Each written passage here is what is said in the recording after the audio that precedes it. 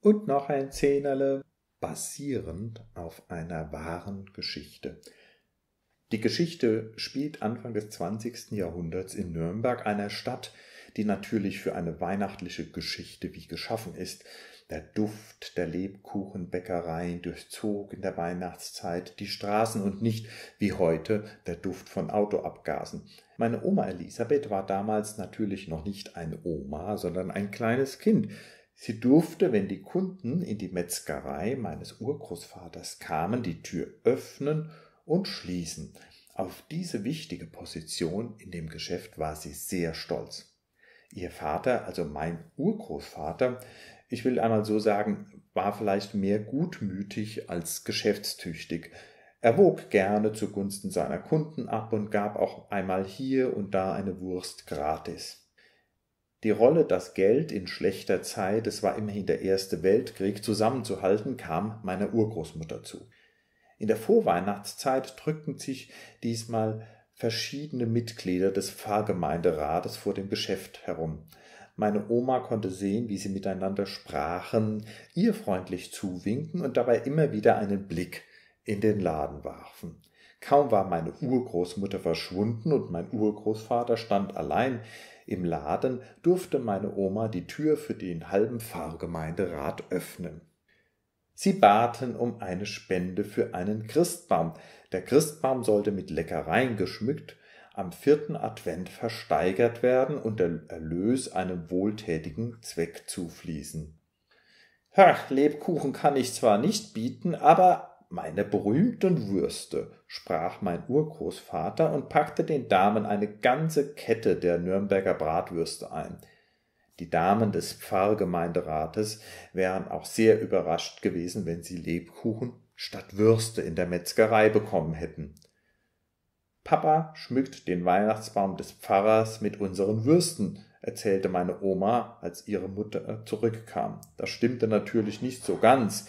Die Würste waren ja nicht für den Pfarrer persönlich, aber sie waren jedenfalls weg, ohne dass ein entsprechender Gegenwert in der Kasse war. Meine Urgroßmutter schimpfte zwar ein wenig wegen der Verschwendung, aber andererseits sah sie auch ein, dass es einen guten Eindruck machte, den Weihnachtsbaum mit Würsten der Metzgerei meiner Urgroßeltern geschmückt zu sehen. So konnten viele Kunden die hervorragende Ware sehen und was für ein großzügiger Mann mein Urgroßvater war.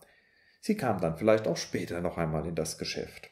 Als Geschäftsmann in der Gemeinde und als Spender der Würste wurde mein Urgroßvater natürlich auch zum vierten Advent zur großen Weihnachtsbaumversteigerung eingeladen.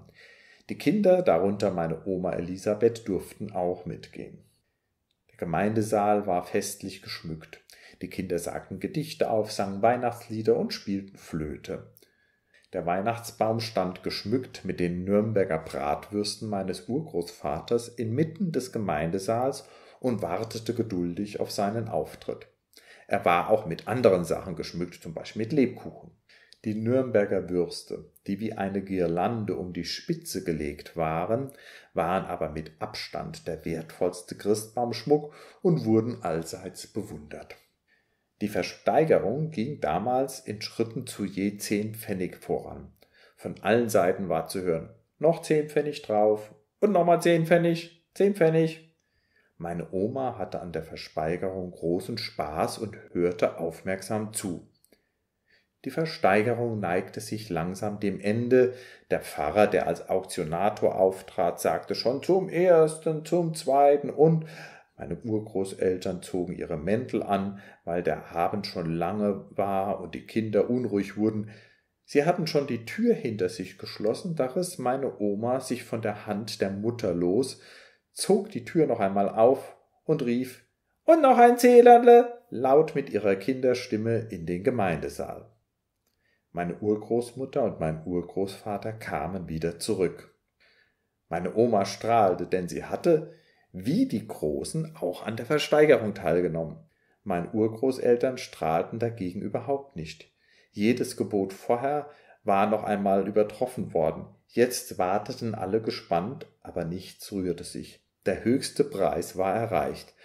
Sicherlich hätte meine Oma als kleines Kind im juristischen Sinn meinen Urgroßvater nicht verpflichten können.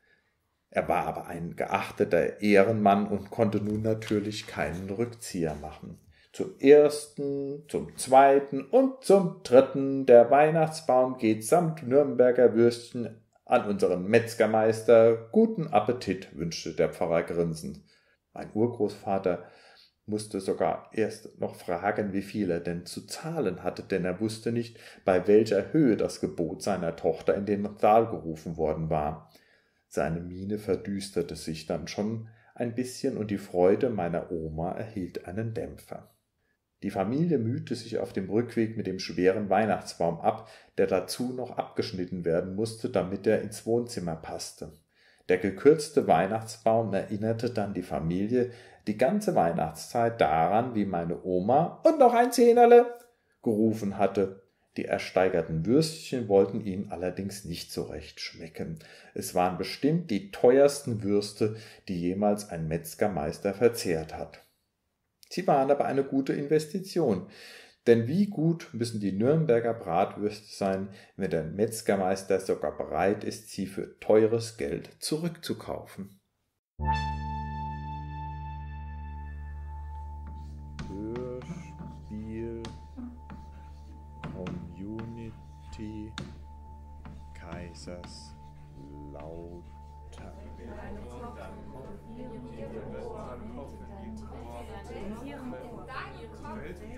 Deinen Kopf in ihren Welt.